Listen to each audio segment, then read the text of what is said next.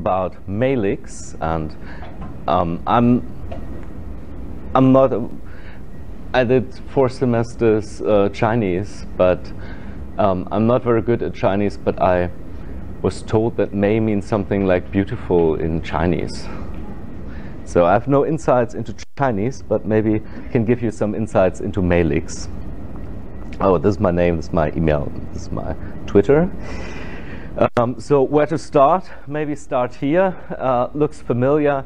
So you have like this typical Ubuntu or uh, Debian style uh, boot up screen uh, that we customized for Meilix. Uh, you can install uh, the system on your hard drive. You can run a live CD.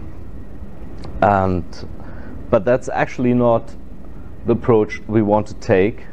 So what's special about Meilix is not uh, that it's just another Linux distribution or just another customized Linux distribution, but uh, it basically starts with a use case. It's a desktop application, uh, desktop distribution. It's very special and for a very special purpose. And the purpose is, in short, think of a conference organizer like FOSSASIA and want to set up in a conference space 100 internet terminals and there should always be the same software on each device. We have certain requirements for a public computer where you could access the internet. So in, in the center stands the use case in this case. And we reuse all existing technology. We try not to invent too much on our own. Uh, we choose a very, chose a very simple uh, desktop environment that is LXQT. Um, we reused uh, the original build scripts from Lubuntu before Lubuntu was existing um, as a starting point and uh, try to really work on just these small and feasible configuration items that are relevant for our use case and always try to uh, turn development onto the use case to satisfy uh, the user needs for this special uh, desktop purpose. And the idea of the development is that we um, apply continuous integration. So we try to, uh, every time there's a change, we, we build the system again. And we really have this kind of approach of, of an agile and use case driven development uh, process.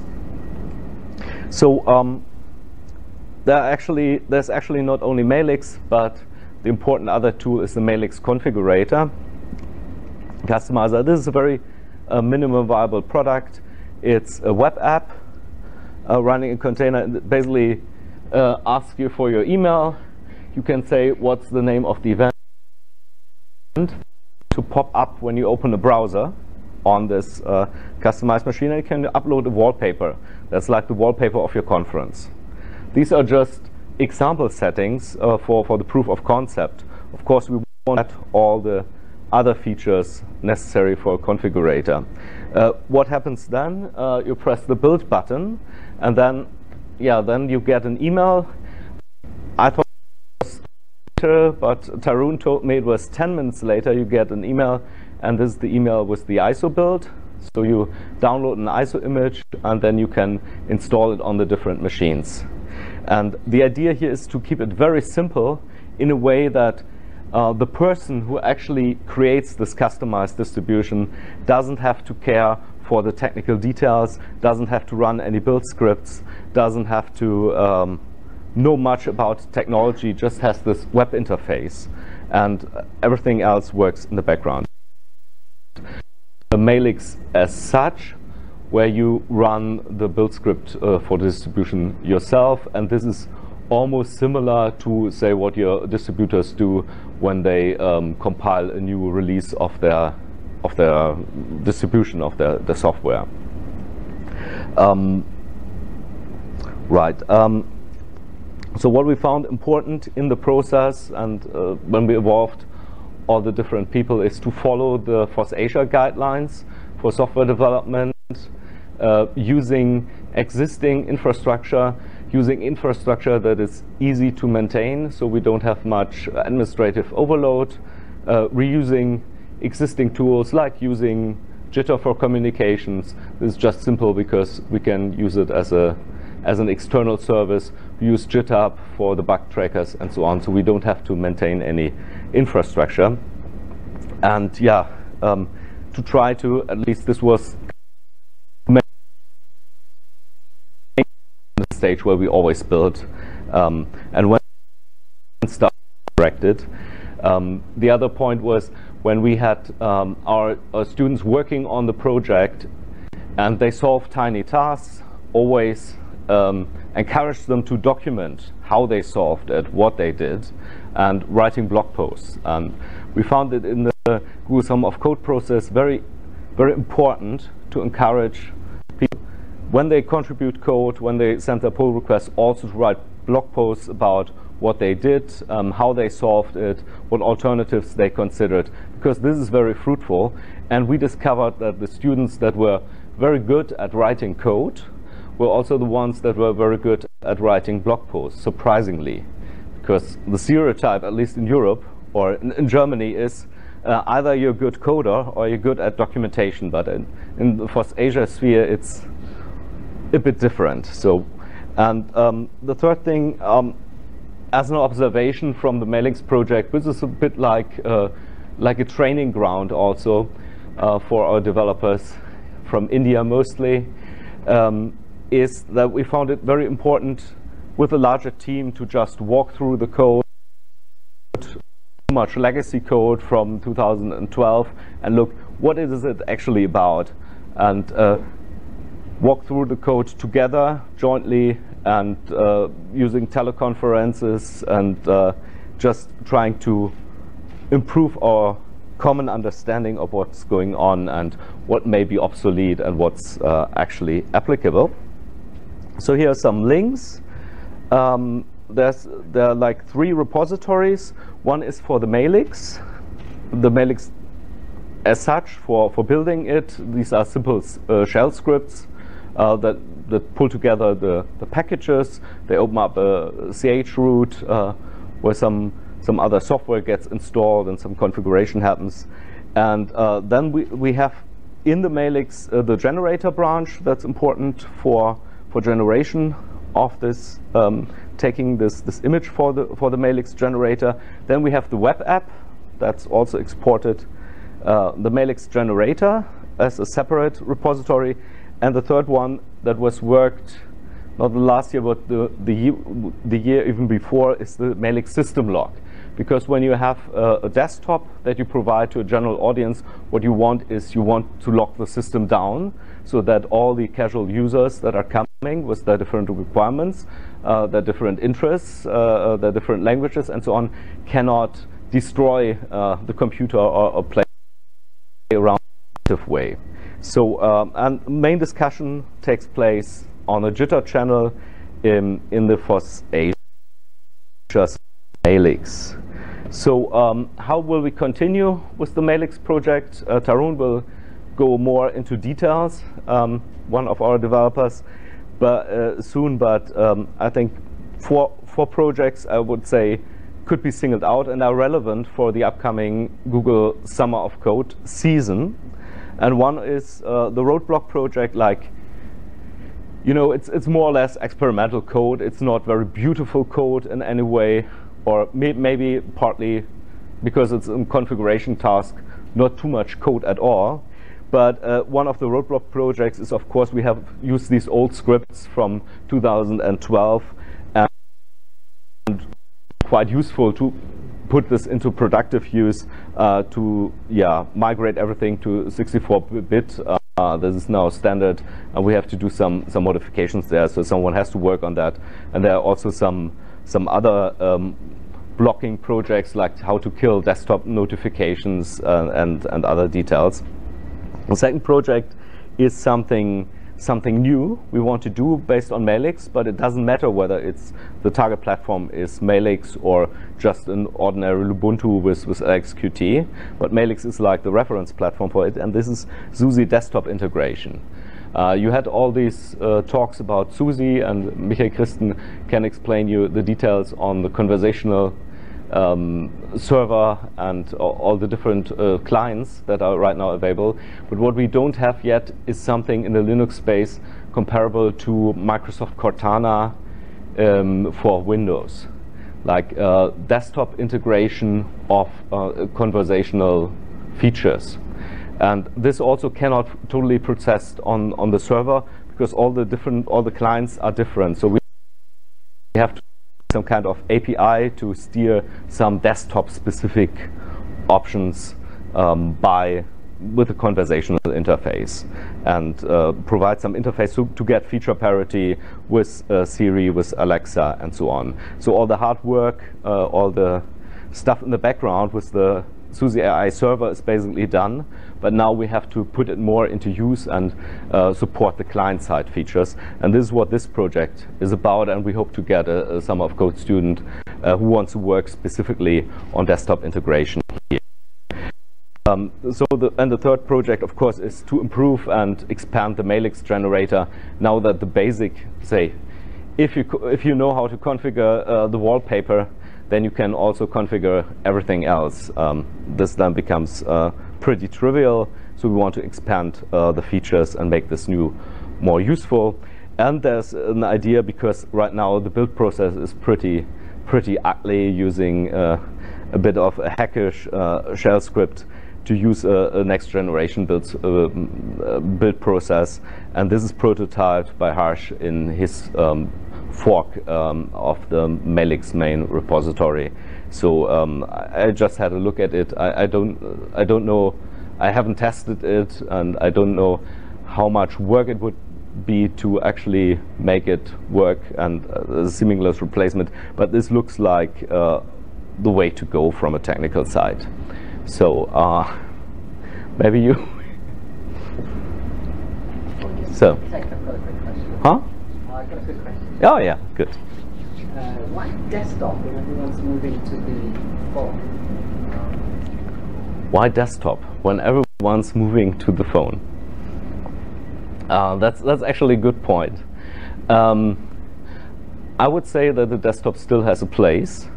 The desktop is still important. I mostly use uh, the desktop for for all interactions and I, I, am aware of the mobile hype, I'm aware of the mobile integration, but still say the Linux desktop is something that never happened.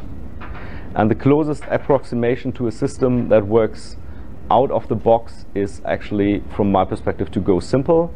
And we did it a few years ago when we started with this LXDE project and try to try to get a more simple go into complexities that just provides the basic functionality and you say, okay, this is like a drop-in replacement. Because right now, um, public administrations, they are not going to tablets. They're still using desktop computers and they will continue to do so for all their, for all their services.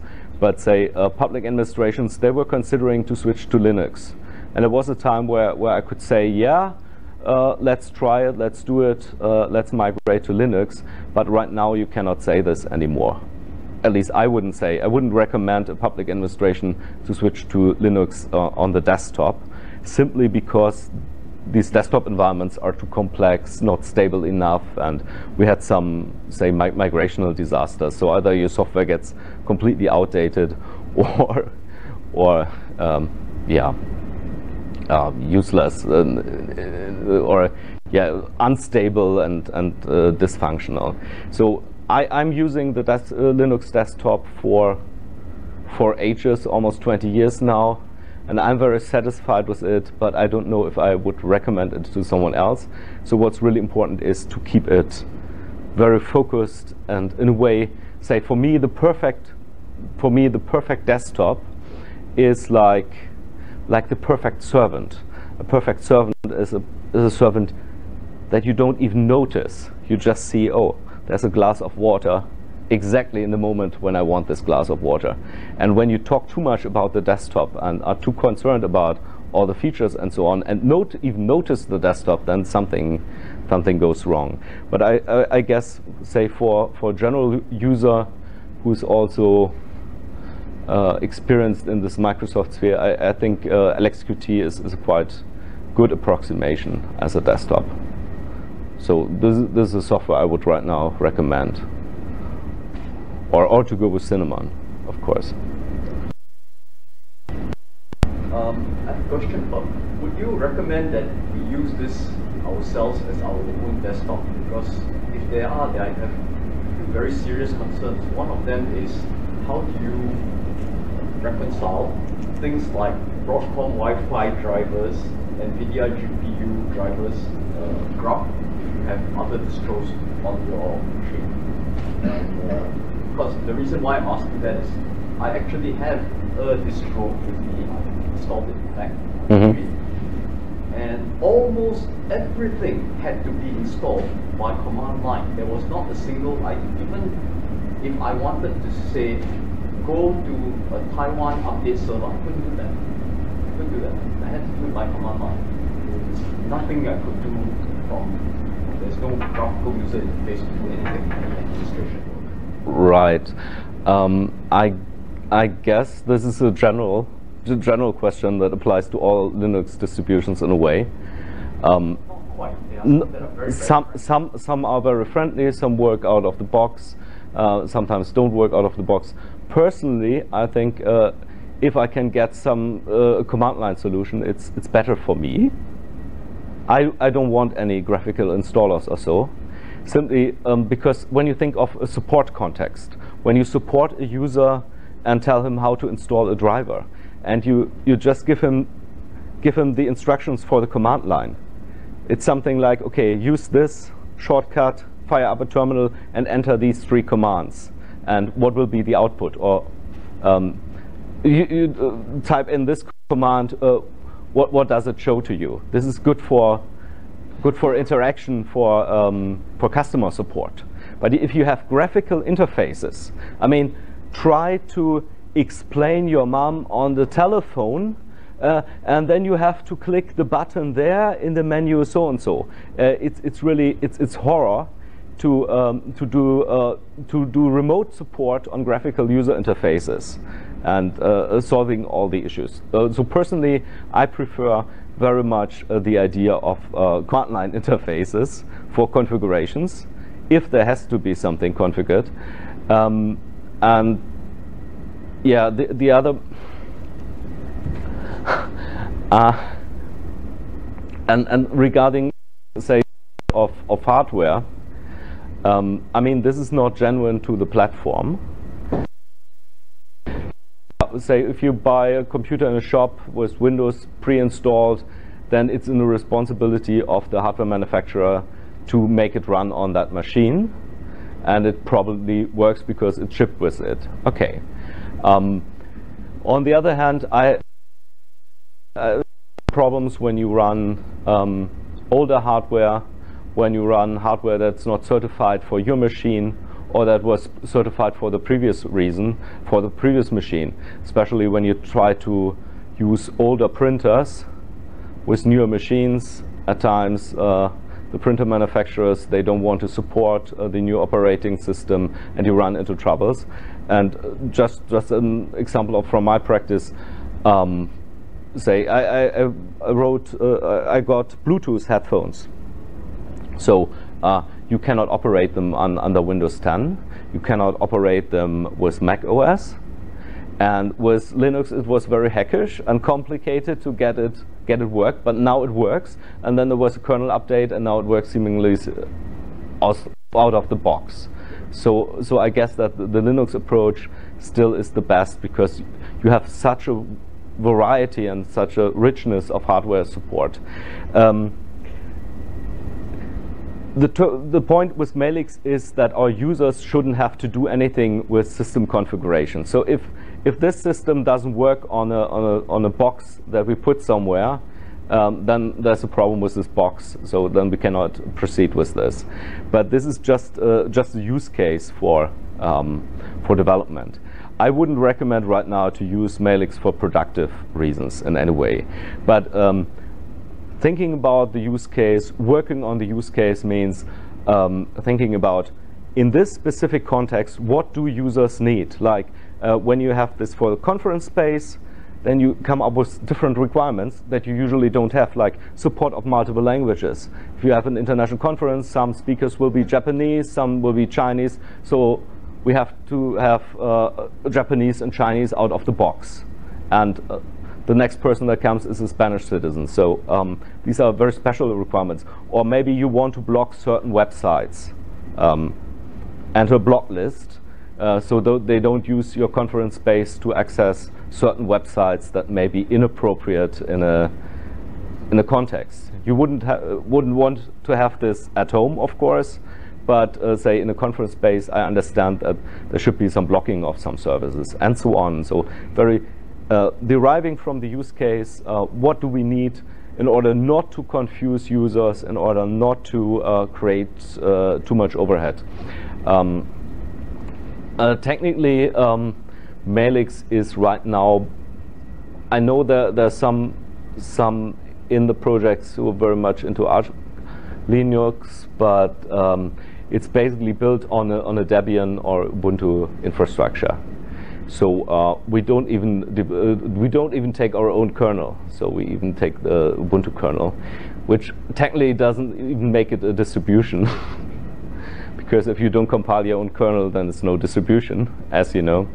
But uh, that, that's not the real case. The real case is the use case and to trying to develop all the configurations so everything get, things get set up out of the box and uh, the special needs of a user are satisfied here.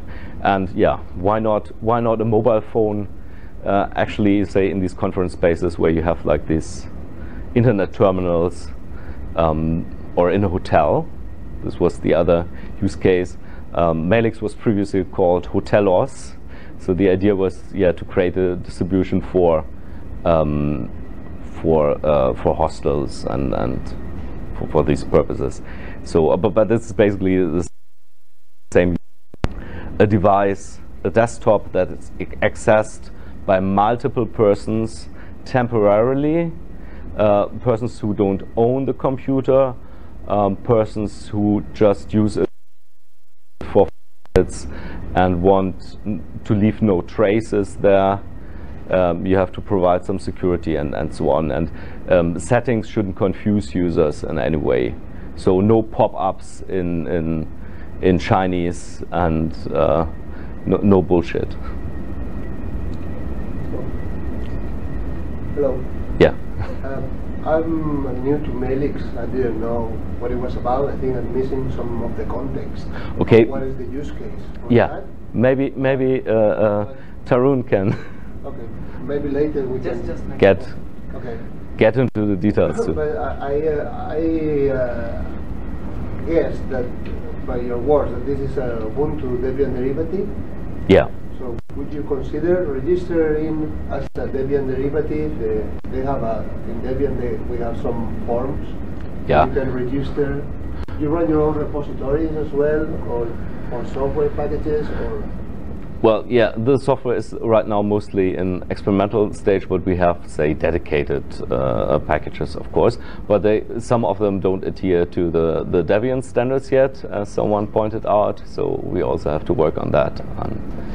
But that's okay. That's, if you want to get the packages in Debian. no, no, we don't want that. But we had the discussion. But you can have register as a derivative. Yeah, yeah. It. Um, but but actually, I, I guess right now we have no no users other than the developers, because yeah, we were still working on this project for also as a kind of educational project, uh, or for trying out some some stuff how to build um, build from from an app um, using automated services, building uh, ISO images, and that's that's kind of the fun. Yeah, I do that. So you you, you want to talk with me afterwards? after Yeah, yeah, yeah. I might be able. We might be able to. Okay, so Ah, um, wait, I think I have to.